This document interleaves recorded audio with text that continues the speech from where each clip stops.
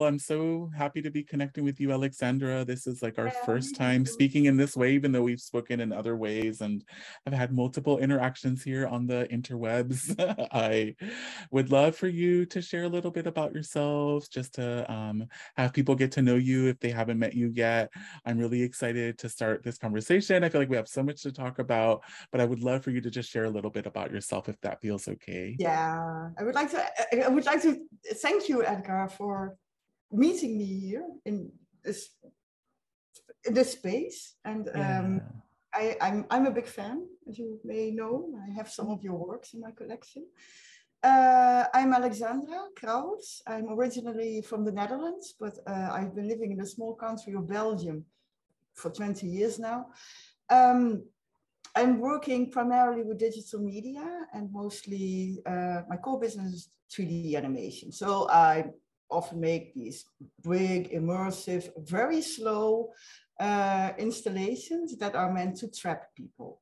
So uh, I'm not going to be shy about this. I like to trap people.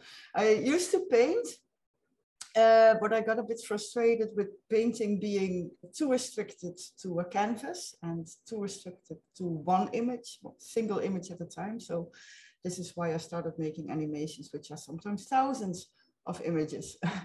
at the time. I am interested in working with deep time. I like to connect back into time to the origins of art making, but I also look forward to uh, possible futures. And I think that has been lingering in the background for a long time is a deep sense of worry about our ecological and climatological uh, state of the earth. And uh, I am trying to deal with this mounting anxiety, anxiety that uh, that this is coming over me. And by helping myself, I am also attempting to help you.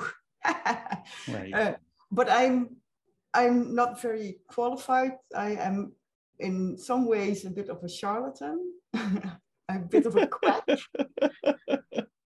but I I feel visual arts provides the space to be acting as an artistic quack.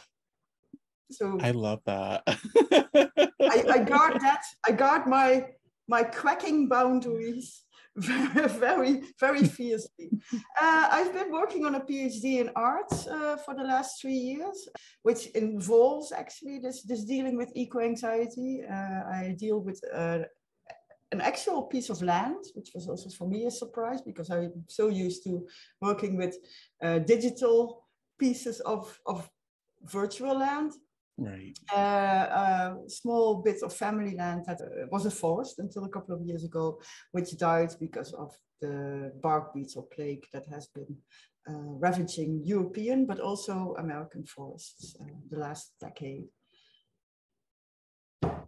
Please stop me before I go on.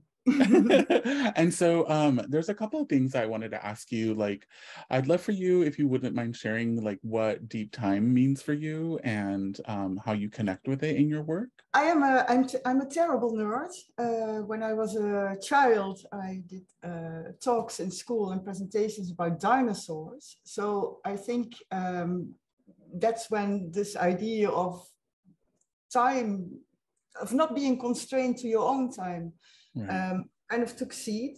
Uh, and I became gradually more and more interested in our own human history. I'm interested, how, how did we get here? Why are we here? What happened?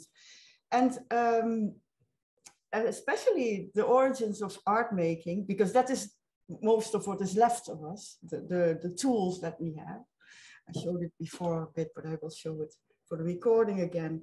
Uh, this is actually not a very old one, but this is a stone scraper probably, just seven or 8,000 years old, which is not that old. Um, and it, it appears very much like a sort of computer mouse with this strange dots on it. And I have that here on my desk as a reminder of this connection to our origins as, as, artists, but also as humans. Is that piece that you have there? Is that a replica or is that an actual? Oh, that is, that's a, that's an actual one. You would be surprised how cheap they are. We made. I keep referring to uh, we because it's us. We had the same right. rate. We made so many so so they're actually not that expensive. I got yeah. I got a guy who I got, got you have a connection, yes. I have, I have a connection. I got a dealer. I, my dealer, he, he provides me with that stuff. yeah, and I love this thing that you bring up, this notion that, you know, what is left behind or what what survives, right, all this time. And I think that that's something that um, a lot of people are thinking about, and especially, you know, with artists who work with archives or who work with even like I'm thinking about like speculative, like imagining histories, right? And I think um, there's so much that we um, in a sense like you know come to understand just because of these things that survive these things that are still left behind. And i'd love to hear is this something that you were saying that you started when you were young be, with dinosaurs? Is that kind of your first like uh, you know um awe, awe moment of like wow there's so much time behind me and then kind of starting to understand all the other um you know eons and and, and periods in time that um, have existed or, or, are there other reasons why you kind of started to get excited about deep time and um, thinking about time in this way well there's obviously because there are just these bits and pieces of of time left in the shape of uh, objects and, and, utensils and and this leaves a lot of room for interpretation so right. indeed way you can and this becomes a bit complicated sometimes when it comes to um, uh, history classes, for instance, because history always can tell just this very, very narrow part of what happened. The canon always just keeps uh, amplifying itself. So you have to try to look beyond that and go back to the smaller things. I, I have a collection of like really small 16th century uh, cooking pots, for instance, which is mm. just great to hmm. have. Um, but this idea of of trying because it also reminds us of how little is left of us after we go. Right. When when when this life is gone, we just leave a bunch of stuff that most of it is, is thrown away, and and that is a bit of a shock. And in a lot another way, it's also it, it's what has happened all of our lives, and most of it just disappears and that disappearance of, of, of things, of species, of landscapes, of that whole flux that moves, I find that I find that incredibly fascinating because you can learn so much from what you can grasp in bits and pieces from the past, while at the same time interpreting it, it in various ways. And the question is always how do you wrap that into this neat package that you can bring moving forward into right. the future. And I've been making a lot of works that deal with future visions, more or less. They were usually quite bleak and quite empty. I I am not uh, a people's person per se. I am actually uh, introvert. Mm-hmm. But uh, uh, so maybe maybe that's why I like to imagine a world where there are no people. right. So, and also, I grew up in the countryside, whatever that would mean in the area where I am. It's not really that country, the countryside right. where I'm from, but at least with, with some fields and forests and, and animals surrounding me. And I've been living most of my life now in uh, a city, uh, one of the most urban areas of, of, uh, of Europe. And my view um, has been rooftops and walls and facades and all that. And I am building like souvenir boxes, like memories. I'm building landscapes that are long forgotten or may come in the future. Empty, endless landscapes with much horizon as a sort of compensation. So mm, I also have, uh, I, I have a very um, deep connection also with my with my computer with the screen. So this connection of screen culture and the screen as a window to the world but also as a as a glass that separates me from these endless x y and z axes of my 3d software which i'm building.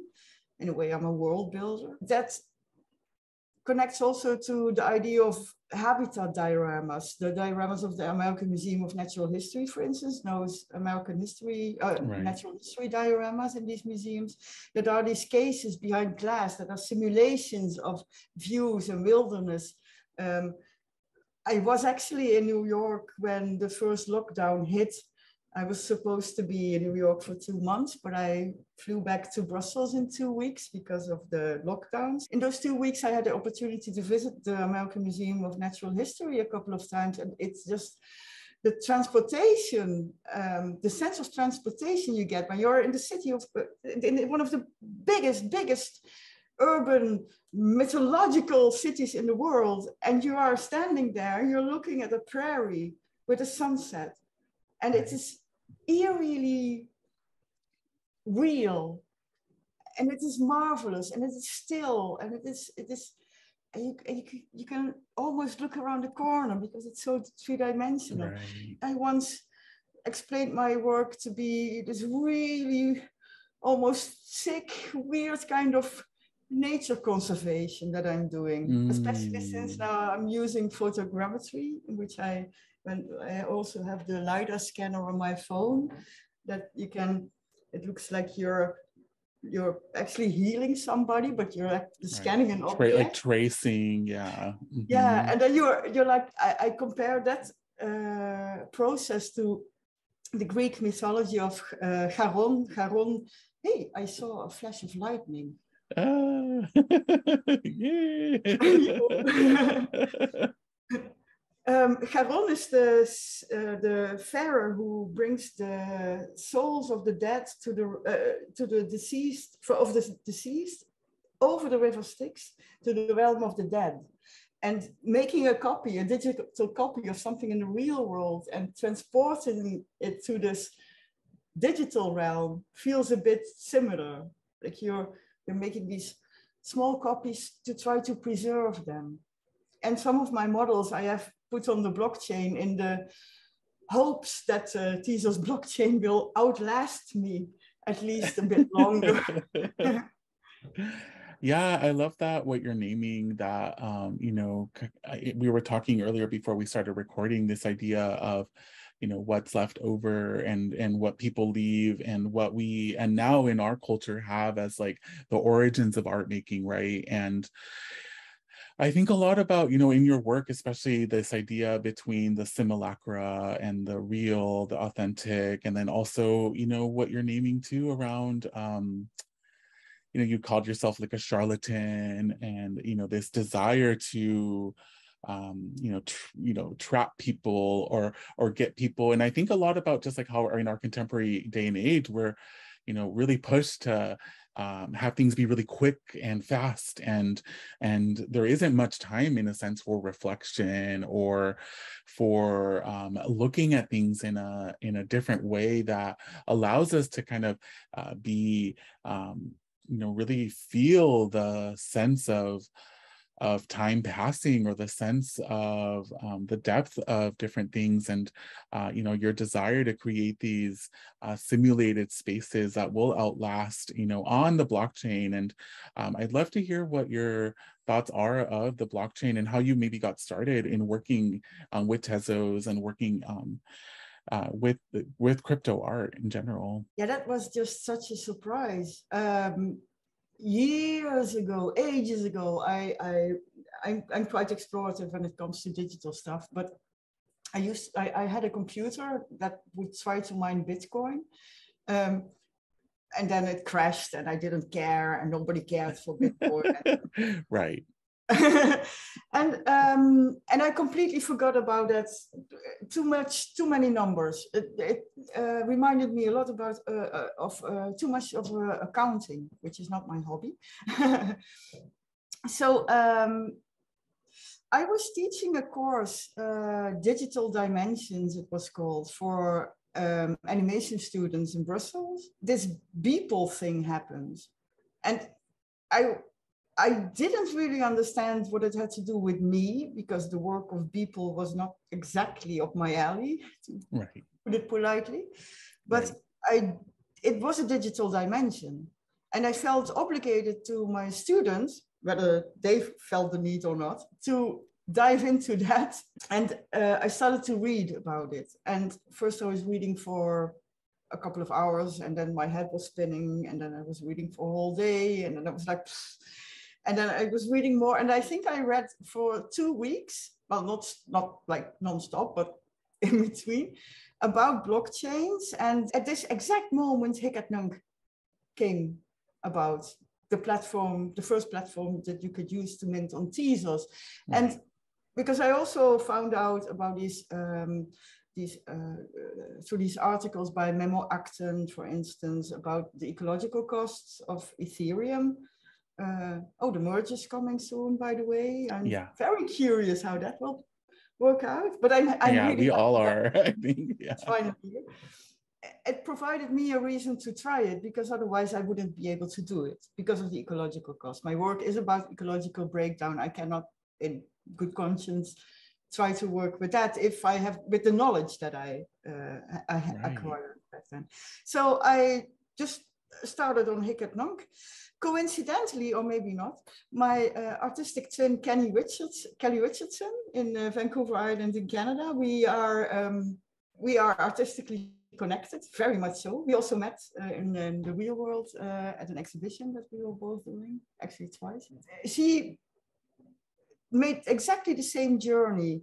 So we started a conversation in which we were like learning from each other, and between the both of us, we actually kind of acquired a lot of gossip and uh, and and a lot of knowledge. So um, and she's also the one that I we, we would ask how how many editions should we make and how much should we ask and all these like really really basic questions because the market a market in general was a very strange place for me my work commercially i mean it never did anything it had, had nothing to do with markets it only existed in uh, an exhibition space and with help of um, external funding so this was quite exciting that we were in there together. And quite quickly, uh, when you start collecting also other people's work, your network just expands.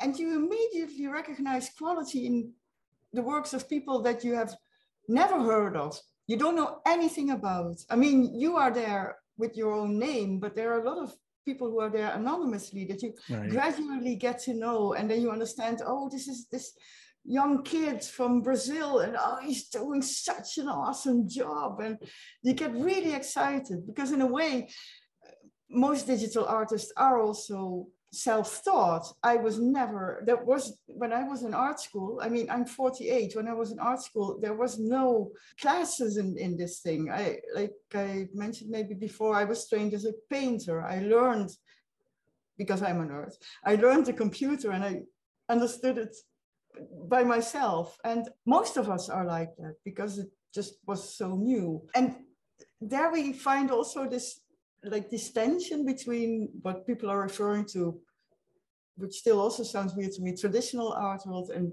the NFT space. There are a lot of non-artists in the NFT space, but there's also a lot of artists that have never really felt home at home in the traditional art world because we had to do everything ourselves and we were not, we're not often very well understood like is this art? But how so? What do you do with it? And and, and I think that brings up something really interesting that, you know, I really resonate with a lot where I feel like before I started putting my art on the blockchain, like I I personally feel like I diminished the value of my digital work and um, saw it as very ephemeral, saw it as something that only existed for the social media or for these moments that you know and then once it was done it's done and it's in the archive. And and for me i think one thing that was really big and i would love to hear your experience was i started to actually then uh, come to understand you know my digital output as an artist as a big part of my cultural practice as my art practice and and seeing how much it's influenced any all these other parts of my work. And that was a big shift for me. And um, I, i've also come to understand that like i did a really bad job at archiving a lot of my digital art because i didn't see it as um, something that was going to last. And and i think that that you know i think about what you were saying earlier about when people die so many things get thrown away and uh, this like almost like cultural way of existing where certain things are you know seen as not valuable or seen as not existing for longer periods. And so i'd love to hear how this um, maybe was for you. And especially you know i think with what you were just saying around a lot of the stuff that we've been doing has been self-taught hasn't been recognized by institutions hasn't been like uh, sold through institutions um, and it doesn't fit into many categories in many ways. Mm-hmm. I, I, recognize that completely. Well, not entirely. Um, a lot of my work was already digital, but I made a very, I, I, made these big installations, big projections uh, um, mostly.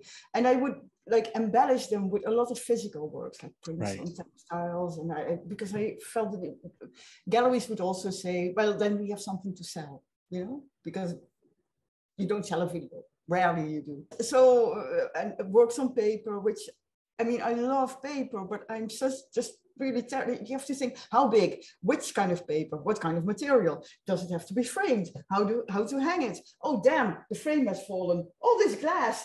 You know, this is that. that the blockchain, the NFT, solved that problem partly, and a lot of the things that I really thought, indeed, those are things that I'm just doing. Like I have uh, made. Um, two emoji proposals for uh, Unicode, one for uh, Stone Tool, one for the hand stencil, which is actually the first pictogram. They were both declined, and I I knew they are part of my work, but I couldn't validate that until the blockchain. And mm. those smaller things, my body of work, as it turns out, is so much bigger than I initially thought. And I've gained so much more confidence also to say this PDF is a work this photogrammetric model is a work. I don't need to put it in a film to become a work. It is the model is the work. I find that incredibly liberating. And this is also what this this whole connecting to the, all these wonderful new people and new faces like you has done.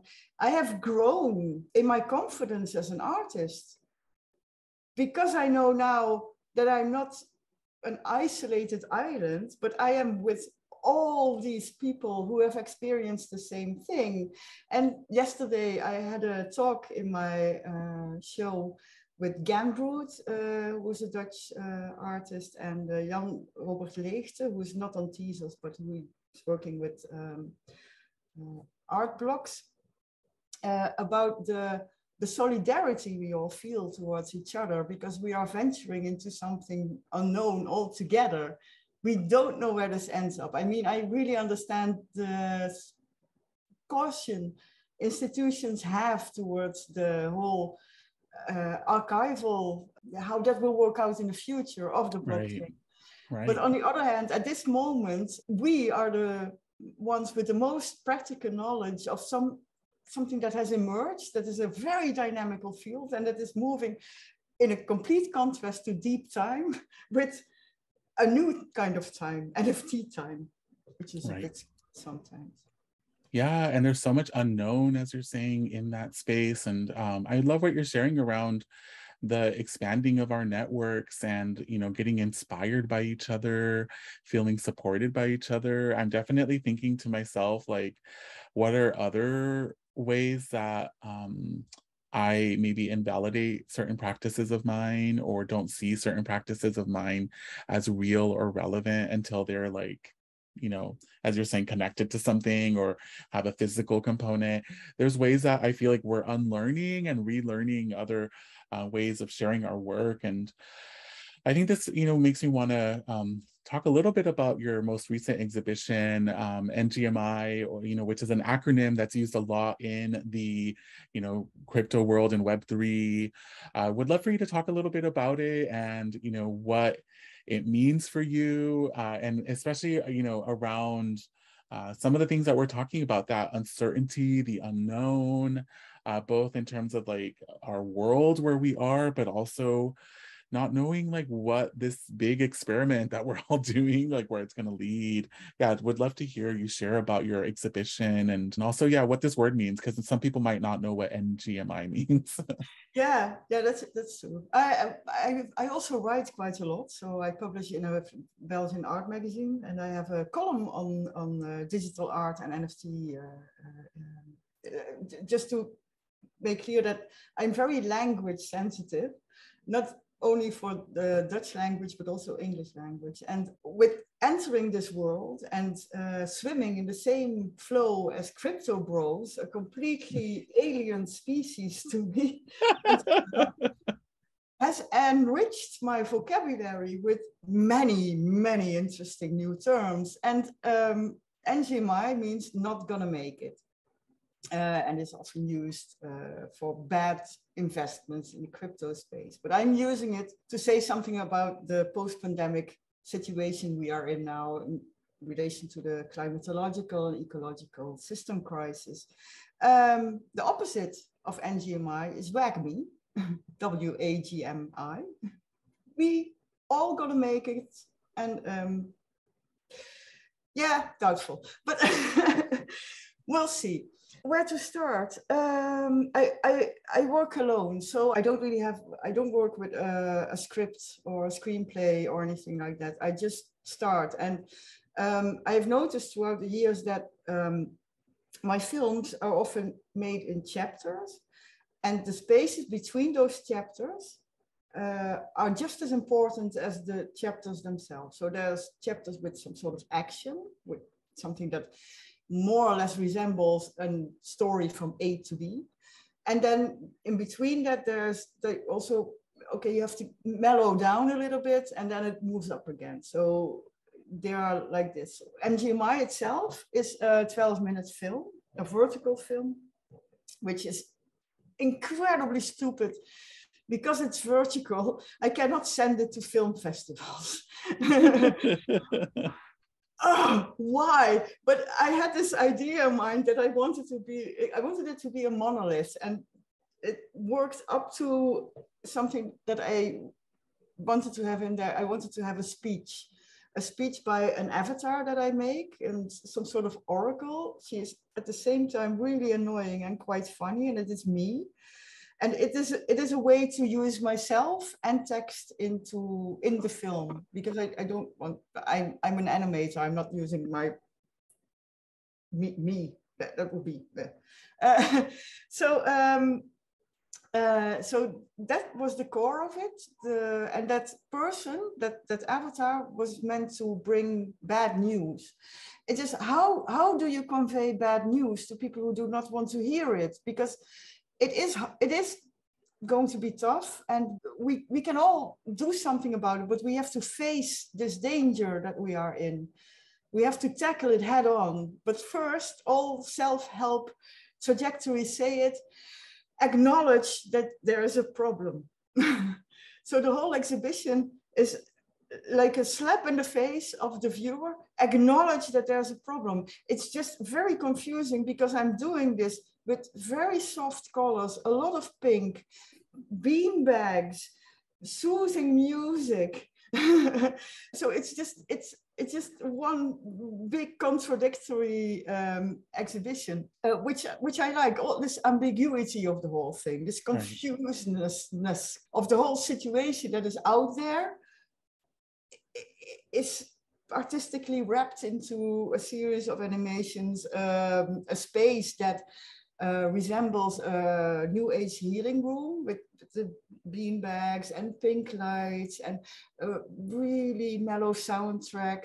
Um, I love my iPad, by the way. I've learned to work with GarageBand and I'm totally into making mellow, mellow soundscapes yeah exactly. It, oh, it calms me down. Uh, and um, and then there's these these letters on the wall projected and in a vertical film again vertical on a flat screen with this this hand that is a trope from religions all over. You try to touch the sky and it says admit it. Just say it. It's us. We we did this. Acknowledge it own it, embody it very slowly, like it's trying to indoctrinate it into you. Some people got really upset by the space, uh, but that just means it, that's its job, I suppose.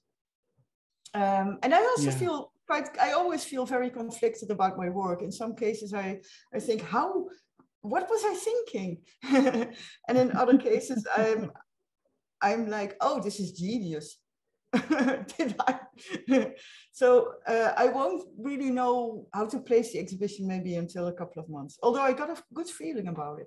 I love that you're creating a space for confusion, for ambiguity. I think that those are really important elements in a time where as you're naming, there is so much like denial, so much um, delusion, and so much certainty too. And people who are so polarized in terms of what they believe or what they don't believe. And mm-hmm. I feel like art is such a powerful conduit for that space of contemplation of confusion and also of as what you're saying of radical acceptance which is not easy it's uncomfortable and i love that you're you know seeing anger as you know a, an appropriate response right? It's it is angering that there's so much information out there that isn't telling us this that we're still like you know there's so many campaigns being made there's so many things being created that like don't focus on the fact that you know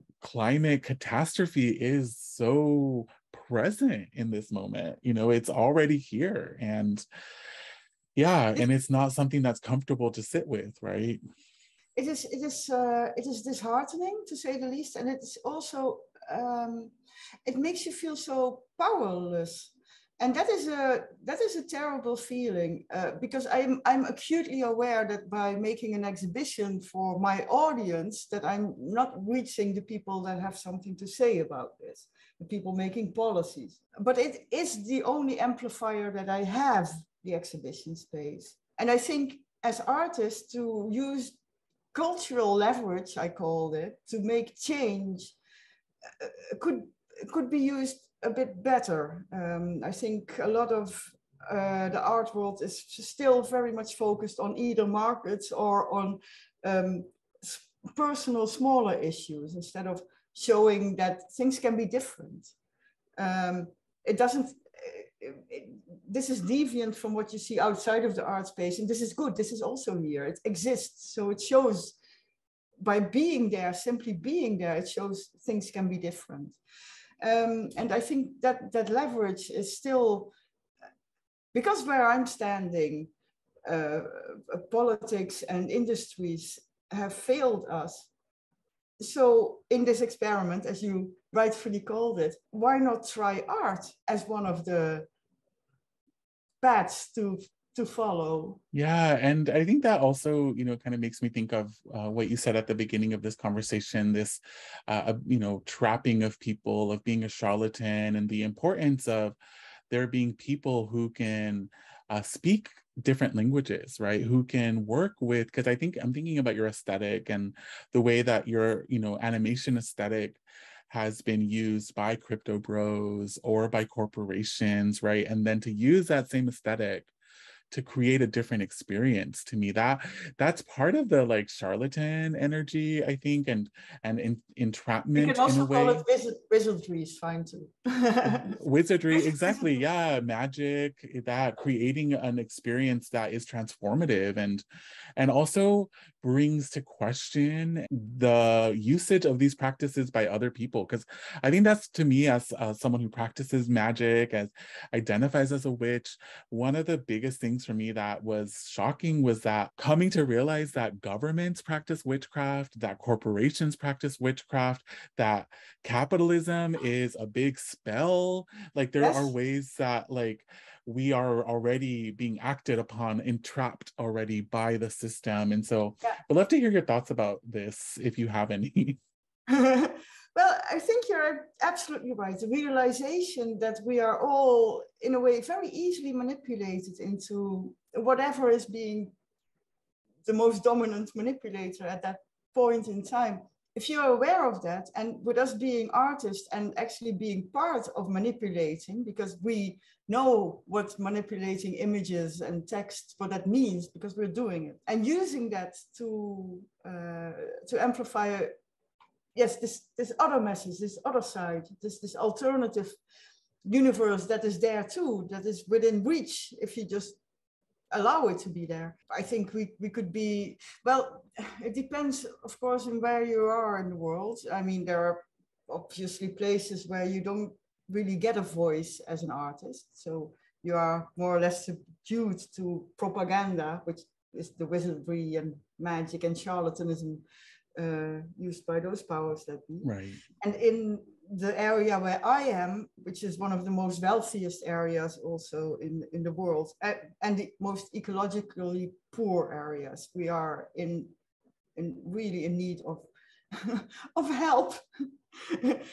despite that wealth, that so-called right. wealth, right. Um, the artists have been made compliant by uh, telling them to just be be good with the market, just play with the market. So you have a big uh, chunk of artists that are just making really nice paintings for the market. It's, it's, very similar to the NFT world in that sense. And I am uh, part sometimes of a committee of the Flemish government. Flanders is the Dutch speaking part of Belgium. It's a complicated story. Where I'm part of a committee of uh, individual artist grants uh, um, applications.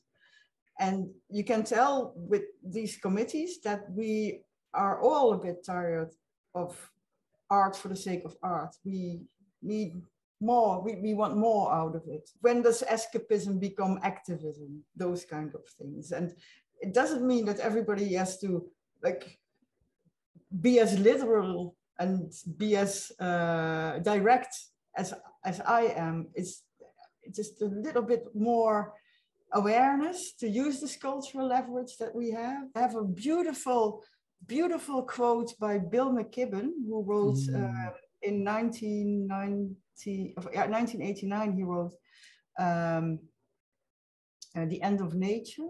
In 2005, he wrote uh, an essay called what the, world, what the World Needs Now is Art, Sweet Art. And he says, we're living through the biggest thing that has happened since human civilization emerged. Our species has by itself, in the course of a couple of generations, managed to powerfully raise the temperature of an entire planet to knock its most basic systems out of kilter. But oddly, though we know about it, we don't know about it. It hasn't registered in our gut. It isn't part of our culture. And he asks, where are the books the poems, the plays, the goddamn operas. And then he continues, he's American, compare it to, say, the horror of AIDS in the last two decades, which has produced a staggering outpouring of art that in turn has had real political effect. I mean, when people someday look back on our moment, the single most significant item will doubtless be the sudden spiking temperature, but they'll have a hell of a time figuring out what it meant to us. I find that, if you are talking also about memories and moving back and forward in time, right. a very also maybe part of of what I want to do. I want I want people to know in the future that we knew. This is also what is hidden in some of the tapestries I, I made a couple of years ago. There are temperature graphs uh, in there and CO2 levels in there and rising sea levels. They are hidden, but a researcher a couple of centuries from now will find those uh, clues and they will say they knew they knew what they were doing. Yeah yeah. And you know and thinking back to the title you know of you know ngmi not going to make it and thinking of like you were saying the the the presence of crypto bros in the in the uh, web3 space like i think i am so grateful to meet people like you and other artists in the space who are creating artwork that is layered in meaning, that is really, um, you know, personal, that is also about the collective, and that is engaging with these really intense, powerful, researched um, ideas that, you know, can be very easily dismissed you know because i think a lot about like how you know the projects in web3 that make it are like many times like projects that have no meaning behind them or you know yeah. it's just something that's beautiful or that is collectible yeah. and how about aesthetics and uh, technology itself and techniques actually.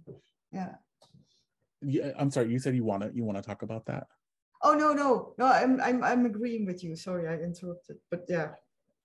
Yeah yeah. And i think um the importance of creating work as an artist even if it means that it's not financially successful, if it doesn't make sense in the market, if it doesn't make sense even culturally. Uh, I think it is important for artists to really know that it's it's so valuable for you to follow that you know desire to have an impact to leave your imprint and to also tell the future that you know we knew we were having these conversations we were talking about it we were creating artwork about it and that we were here right we were here in this space uh, mm-hmm. trying to process something that is so big something yeah. that is so um, really big. so big yeah, yeah, and it's, it's, very big yeah i uh angie my I don't want to lose hope. So I'm holding on to like smaller strings. And it is also in a way, you know, humor is a, a coping mechanism. So I made this NGMI anthem which is at the same time just heartbreaking, but also really kitschy and funny. And I would love to have like a children's choir sing it in front of uh, oh my god Shell, an oil company headquarters. Wow! Oh my goodness! If somebody will will see this recording and knows how to do that, please get in touch. yes, yeah, I'll make sure to um, provide your contact information in case people want to reach out to you to have this vision come into fruition because that would yeah, be so powerful and yeah. i think yeah and there's something that's also i think about reclaiming uh, power with words and reclaiming power in moments of feeling helpless in moments of feeling like there's not much you could do. I think as as you're saying as people who have cultural leverage as people who are engaged in a cultural dialogue that is some place where we can have impact right? And it can make us at least feel a little bit of control in a time where it does feel like yeah there's it's such a big thing that we have no way of impacting. We can at least use the tools we have right to yeah. create yeah, exactly. an impact. Yeah and this is also what I love about your work that because you're also dealing with big things. And then it's so interesting to me that you're incorporating your heritage in there which is such a big difference when you're living in Europe. I mean we we are all indigenous us us white Europeans. We we don't have this concept of of um, we were the colonizers but we don't have the concept of being colonized or being on somebody else's land. And I find that endlessly fascinating. And I can tell that uh, from Australia to Canada to the United States, that there's much more recognition towards also these really big issues. Because at the moment, uh, where Kelly Richardson is living in Vancouver Island, logging companies are logging a thousand year old trees on land that is not theirs, that nobody said they could use. And this is, this is, so this whole ecology and the colonization becomes completely entangled and one makes the big issue even bigger to tackle. Right. Which makes it also interesting and complicated and uh, exciting and everything, all, all contradictory emotions at the same time. Definitely, yeah, and I think there is so important to um, you know bring these conversations into different spaces. Even for example, this is going to exist on YouTube, and like I think about how uh, important it is to have these kinds of conversations in different platforms and different spaces where they will reach and touch multiple people who maybe don't know about what's mm-hmm. happening in, in these places where land is being taken. Uh, I think it's so important to create portals, you know, to create pathways into understanding the interrelatedness, the complexity, the layers that exist behind these uh, massive systems and how mm-hmm. we are implicated, you know, in and many times without our consent, right? How we are implicated yeah. with these systems. And um, and thank you for what you said about me bringing in my indigenous ancestry because it it feels really resonate with what uh, you know we're sharing. Where it's like I think a big part for me too is like wanting to uh, bring some of this uh, knowledge and wisdom and tradition and also exploration and experimentation to into these spaces where they're not going to have a voice. They're not going to be seen. They're not going to exist. Maybe they're not even expected to exist in these spaces. And so i think it's so important for us to use these technologies these spaces that we have to create these messages for people uh, because we don't know what the future holds for us and we don't know what you know for example the crypto art world is going to look like in 10 years. We don't know how people will be engaging with that and yet our work will maybe exist there still right? And so oh, oh i hope so. I i, I think i think it will. I think it will. In, in 10 years oh for sure but I am so curious as to it, the developments and then the coming merge of, of Ethereum and Beacon chain. And uh, even though I'm not on Ethereum, I'm just, and everybody's like, what is going to happen there? Yeah.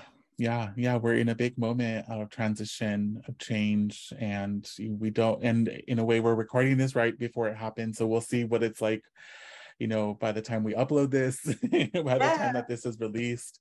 Mm-hmm. Um, yeah, so much change. And so I'd love to for you to share if people want to connect with you, if people want to see more of your work, uh, what are and I'm definitely going to link some links here in this video, but I would love for you to share ways that folks can connect with you and your artwork. The most information can be found on my website, um, www.alexandracrouwers.com. I have a terrible name for American speakers the Alexandra part is okay, but the Crouwers sounds like a crow.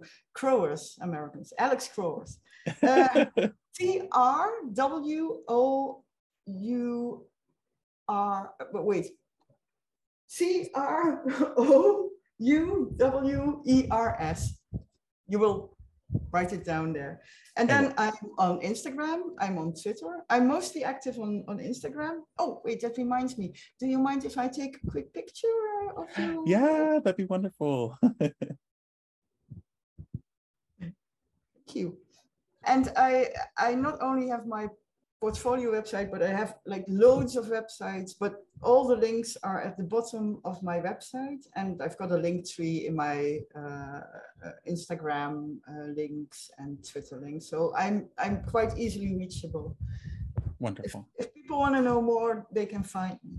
Also because there's nobody with the same name as me, so that helps that really helps yeah well so great to connect with you and so wonderful to talk and i you know really look forward to future conversations because i know this yeah, isn't the too. only time we're going to talk so oh, really, I love this. yeah same it's been so wonderful to get to um, know each other a little bit more and to connect and um, just looking forward to staying in touch and collecting more of your work because i'm like also so grateful to have some of your artwork in my collection too oh same here likewise yeah. Bye.